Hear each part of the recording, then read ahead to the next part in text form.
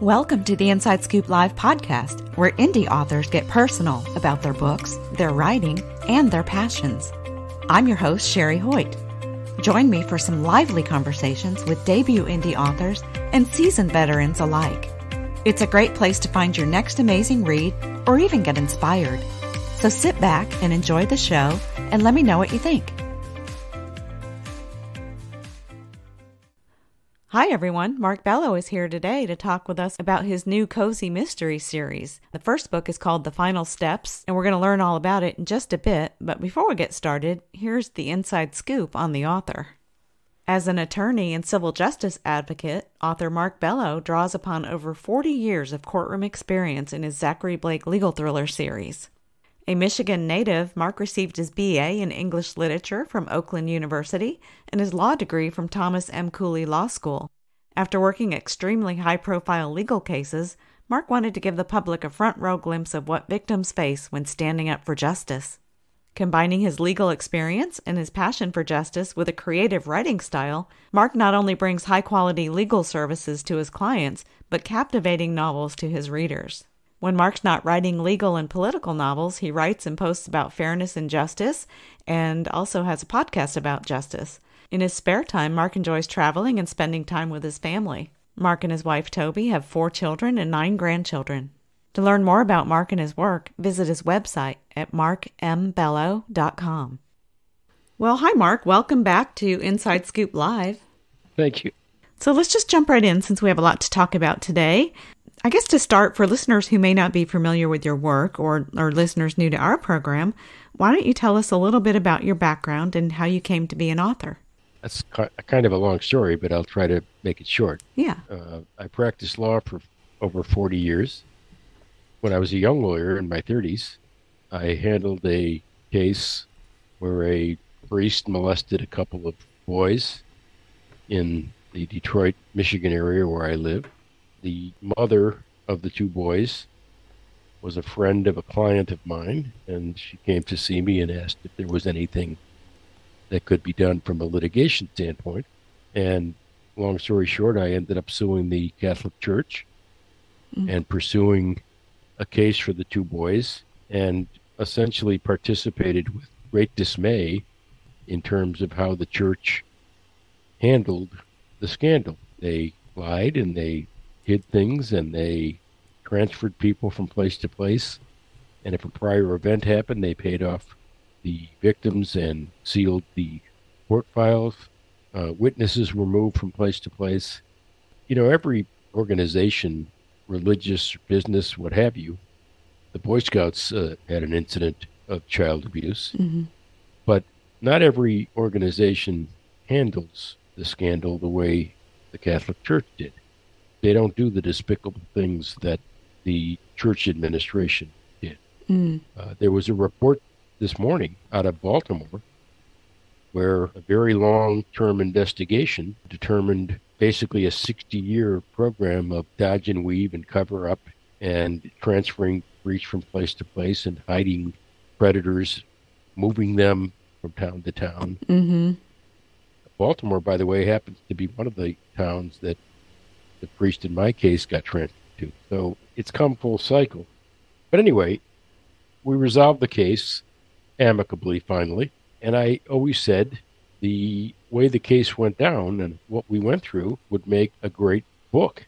And I thought about it being a nonfiction kind of account, but I struggled with writing it and naming names and outing people. So I decided I would write a fictional. And that resulted in my first book in 2016. That book is called Betrayal of Faith. I thought I was a one and done author. I, I, it was a bucket list item for me. I thought I was done. And then the 2016 election came along, and I thought to myself, is a person who claims to be a bigot, uh, claims to say and do the things that this candidate is doing for real? Could a person really get elected who acts like this and says the things he says? Mm-hmm. So I wrote a fictional account of a, an election at the time, not knowing who was going to win the election. So it was completely fictional. Yeah. It imitated the person who became our president in some respects.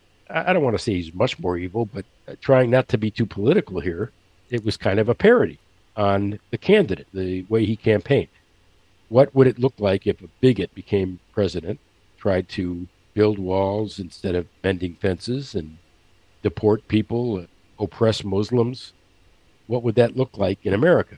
So mm. I wrote this book, and lo and behold, Donald Trump becomes president of the United States. Mm.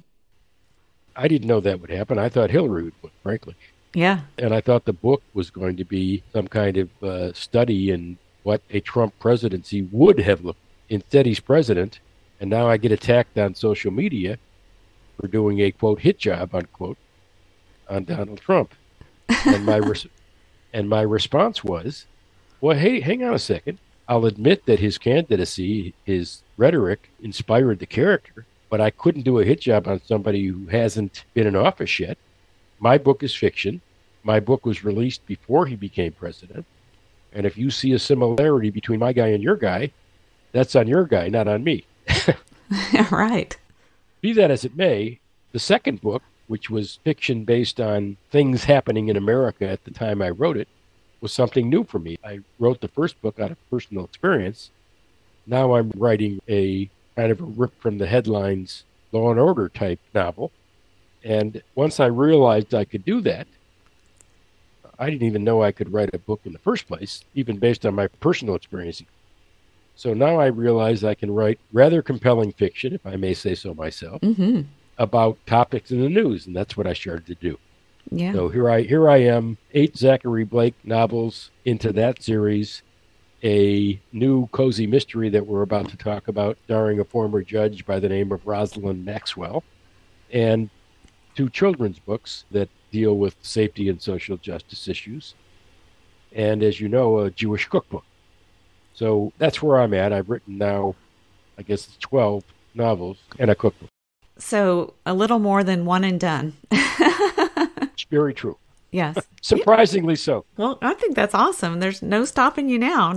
So, the last time you were on the show, we talked about your last Zachary Blake novel, which is a legal thriller series, uh, like you said. But you've branched out from the legal thriller world into the cozy mystery genre. Did actually, Sheri, the, the mm. transition started with that book.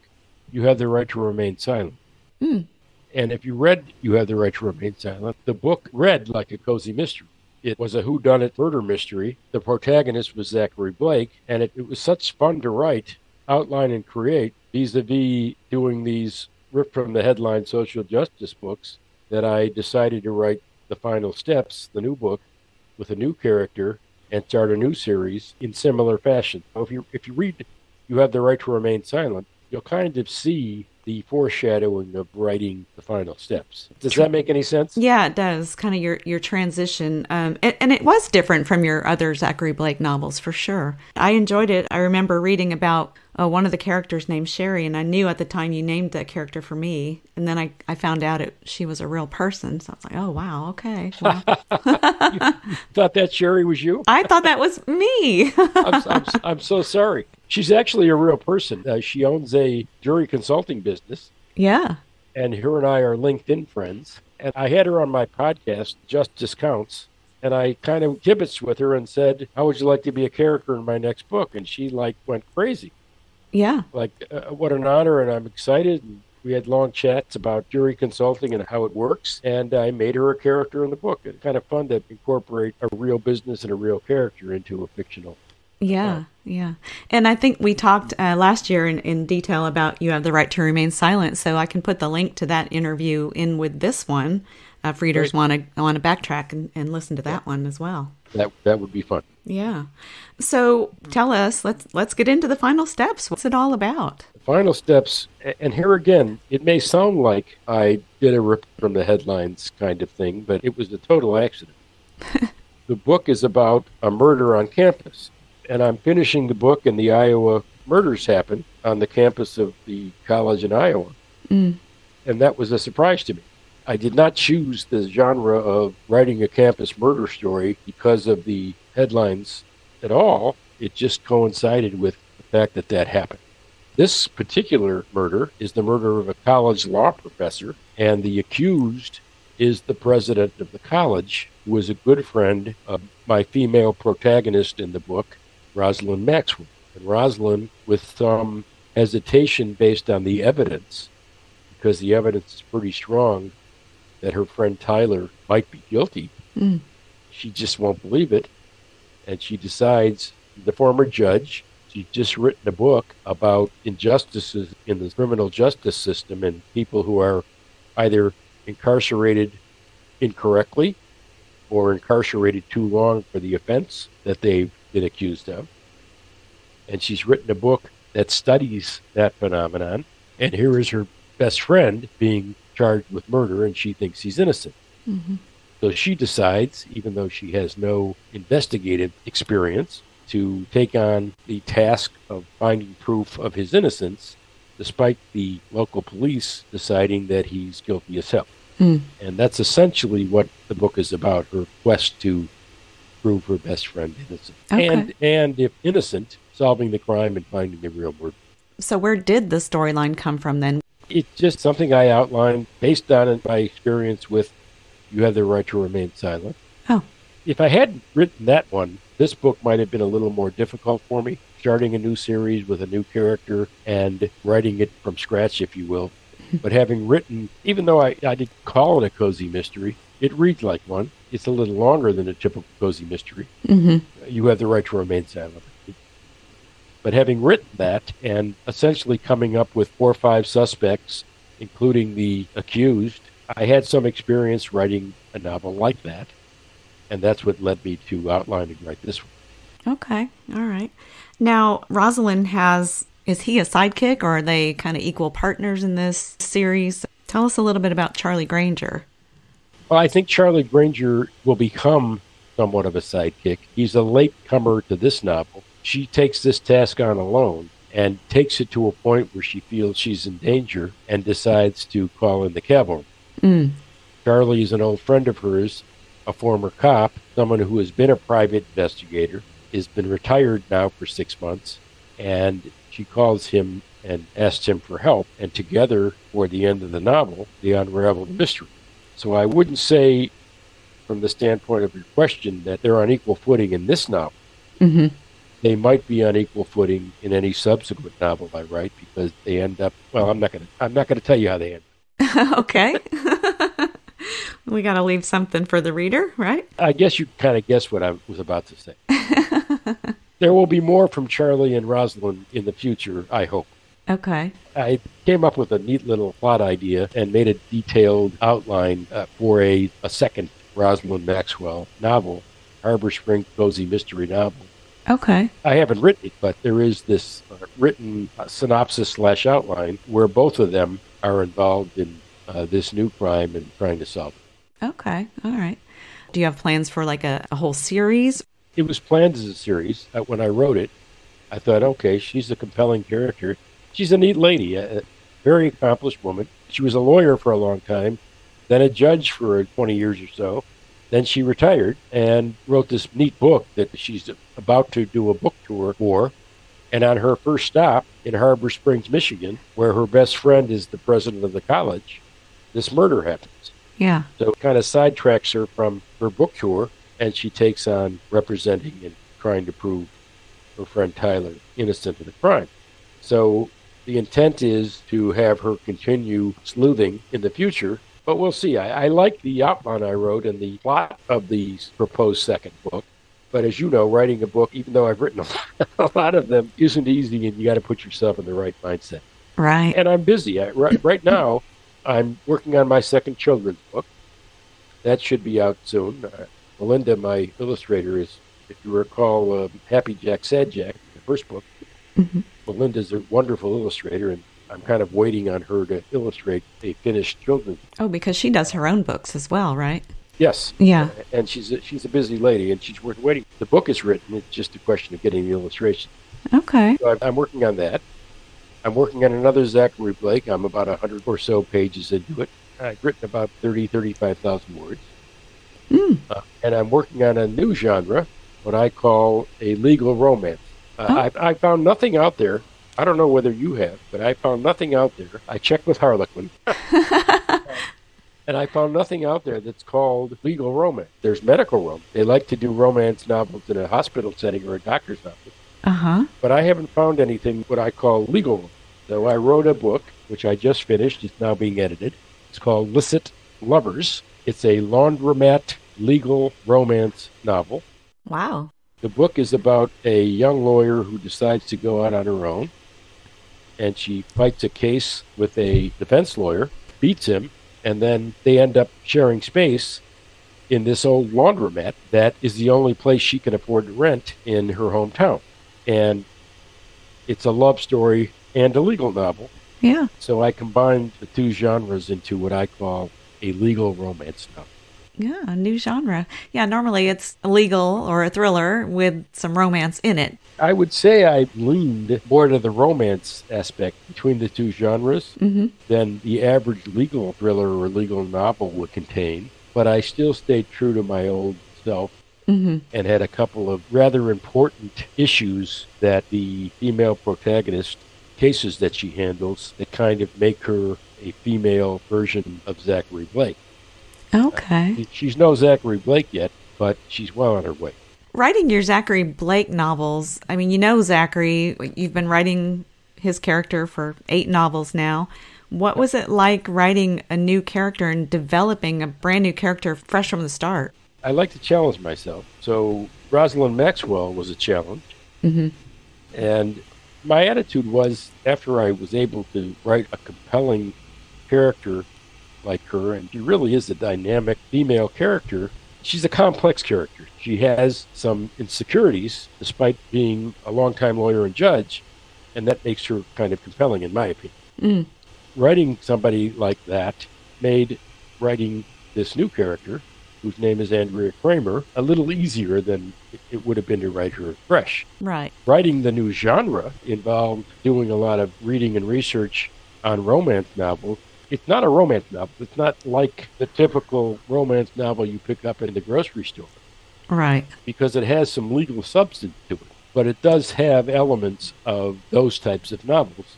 I wrote some rather detailed love scenes that I don't typically write in my legal novel. Got a little steamy, huh? it's a little steamy. By the way, uh, the other thing that I should mention about Licit Lovers is Zachary Blake's in the book. Oh. The case that Andrea takes on is quite complex. It's class action, multi district litigation. Andrea is rather a new lawyer. She achieved some fame by handling a rather controversial, ripped from the headlines case, Mm. which I'll tell you about in a second. And as a result of the notoriety she gets from the case, she starts getting a bunch of these cases from the new product liability issue, which involves a toy company that has a line of toy soldiers that are choke hazards and or chemical exposure hazards. Mm. Kids are getting cancer from being exposed to these, to whatever chemical is used to put these soldiers to. At least that's the allegation. So as she's getting a lot of these cases in her neck of the woods, Zachary Blake is getting, because of his reputation, a lot of cases in his neck of the woods, and they decide to join forces. Oh, okay. And and that's kind of an interesting little twist about illicit Lovers. Andrew Kramer, what did I call it? The laundromat legal Romance. love story or whatever. Yeah. Uh, um, but it also has Zachary Blake in it. yeah. The initial case that I mentioned earlier, the rip from the headlines part, is I invented an insurrection that occurs in Lansing, Michigan at the state capitol. Uh, a governor who thought he was going to win loses. The governor who thought he was going to lose wins. The governor who loses refuses to leave office, invites a bunch of white supremacists and neo nationalists to come to Lansing and protest, and they end up in an insurrection, and a young woman gets killed. So Andrea opens her new office.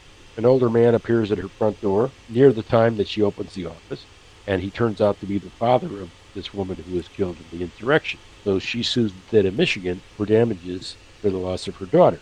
That case provides a lot of press and headlines and notoriety for Andrea, which results in her getting her hands and feet into the second case. Okay. In the meantime, her opponent in the first case, l- let's just say that the two of them have this love hate relationship and they are on opposite sides of cases, but they are attracted to each other. And that's where the lovers part of the novel comes. Okay. I love how you you're branching out and growing, you know, as an author, but you're still keeping your work focused on what you know basically. And it's very creative what you're doing in all these different Trying, you know genres. trying, trying to, trying to. Yeah. So the final steps, uh, Harbor Springs cozy legal mystery. It's a little different than your Zachary Blake series, but is it the same audience or are you finding a new audience as well? I hope so. I think it's a little different. I'll give you two authors. I'll throw them out at you. And I by no means think that I deserve to be lumped with these people, but you know, I'm kind of cocky. I have confidence in my writing, and I like the books I write. Well, you should.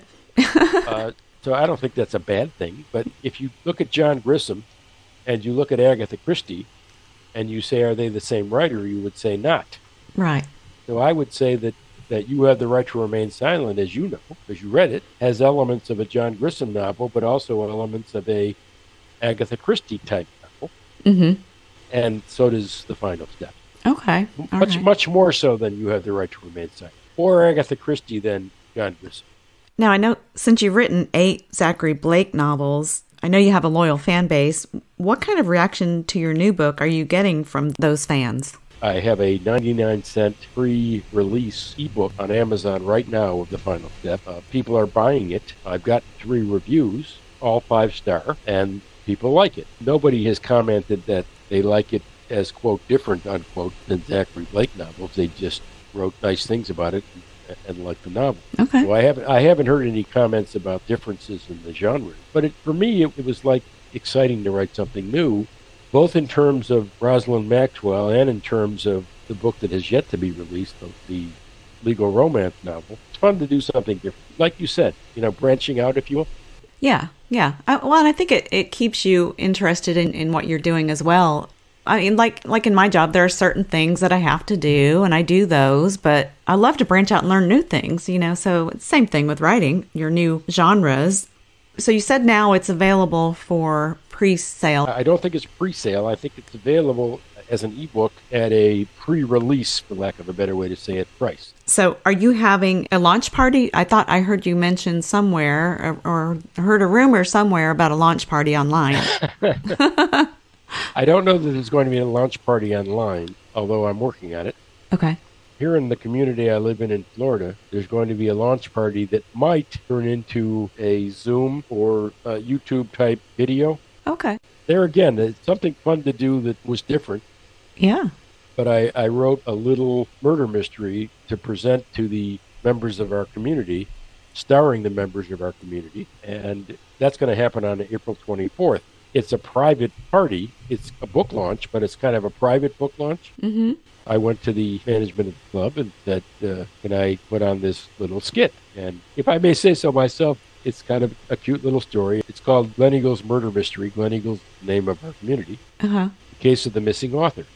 Oh. And what happens is that you know we're we're kind of a senior community, and even though I have no particular health issues or memory issues, Mark Bello, the author, is writing a novel, and in this particular skit, even though it's not true in real life, when he gets to the last stages of the novel, he goes off by himself for three weeks and writes at an undisclosed location.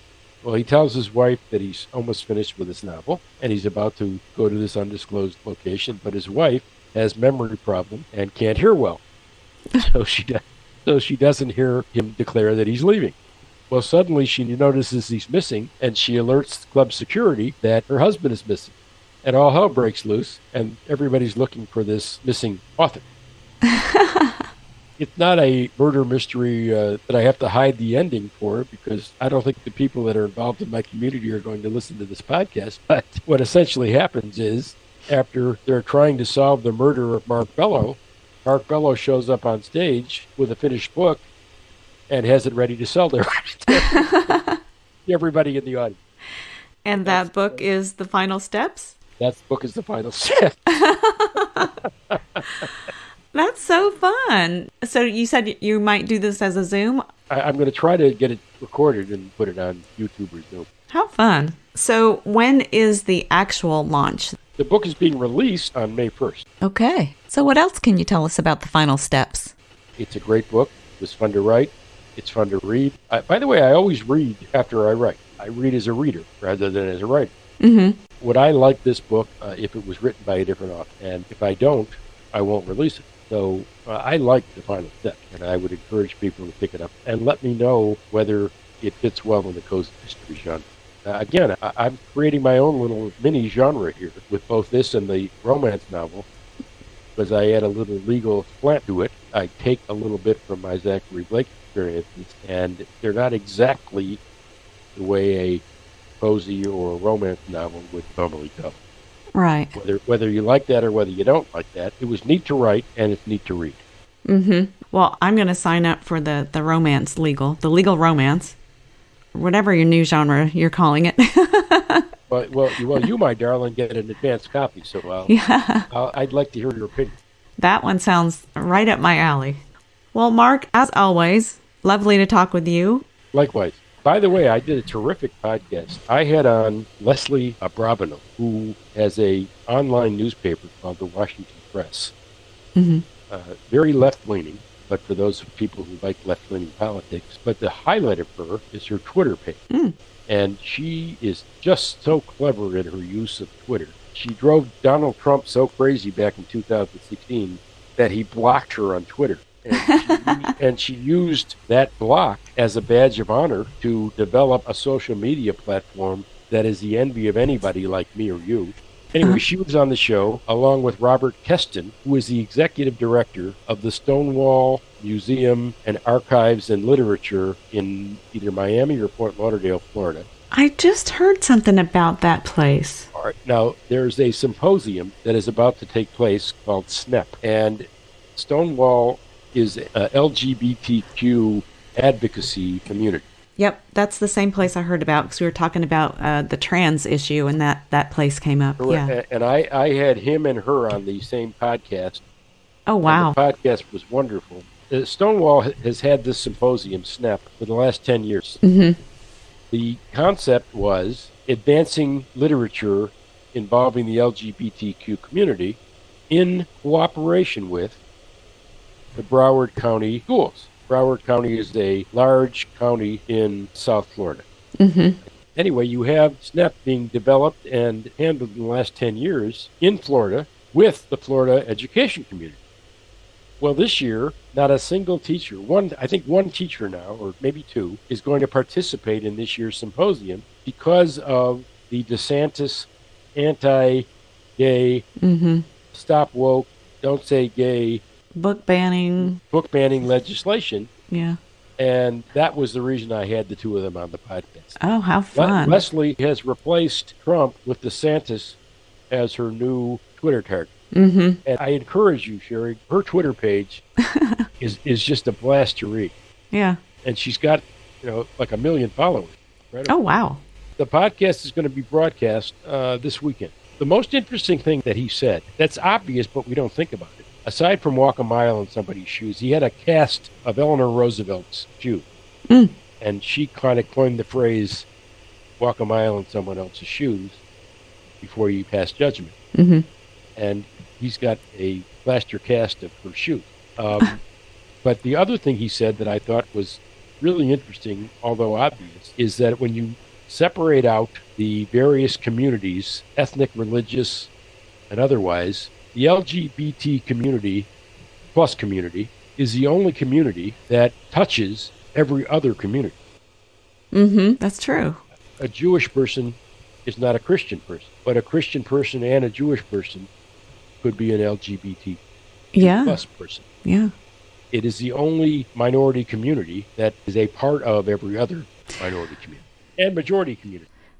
So I'm going to add a link to that podcast to the show notes in this podcast because I think it's it would be of interest to a lot of people. Well, Mark, thank you for coming back on the show and talking with us about your latest novel. It was lovely to catch up. It was lovely speaking with you again. Thank you for joining me today for my interview with Mark M. Bello, author of The Final Steps, a Harbor Springs cozy legal mystery. You can learn more about Mark and his work by visiting his website at markmbello.com. And be sure and check out our other interviews on InsideScoopLive.com.